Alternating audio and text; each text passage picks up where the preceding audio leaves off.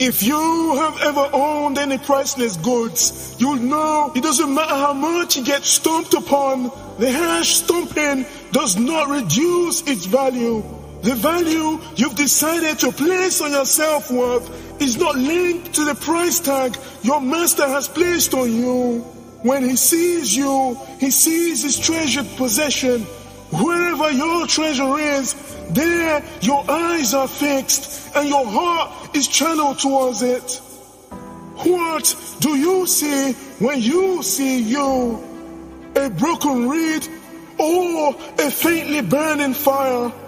Because he was not broken, you remain intact. His light burns radiantly within your heart. Why? Because he alone is where your justice and hope comes from. You are stronger in your weakness. The strength gained in your moment of weakness will become for you the resilience that weathers the storms. Where your strength may not take you, grace finds and takes you there.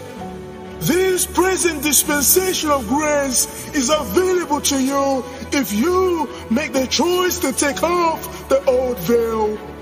You must understand that your self worth ain't dependent on how you feel about yourself, but rather how the one who made you sees you. If precious metals are easily unearthed, then it is no longer precious. Abuse is inevitable. But when these metals are rare, beauty is in the eyes of the beholder. You are a rare, uncommon commodity set aside as a treasured possession for a special purpose use. I'd like to think of our body as a capacitor. There is a certain amount of energy or charge that can be applied to a capacitor beyond which it reaches its max and can no longer hold the charge. But can a fragile vessel sustain the pressure of an immense light so great?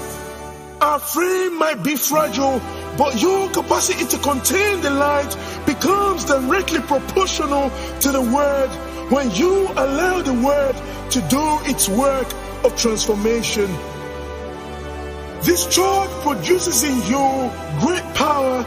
Only those in the light are capable of discharging to great effect.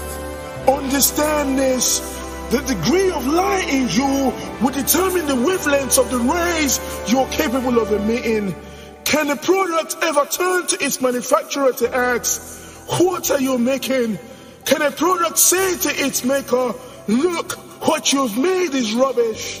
You and I are the handiwork of a master craftsman, made beyond valuation, priceless to the beholder.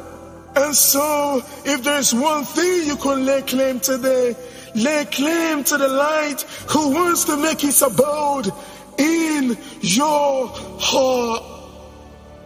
You may not comprehend or understand the transformative power of this light, but your willingness to permit the work of perfection will become for you the stepping stone that brings forth the light stored up in you.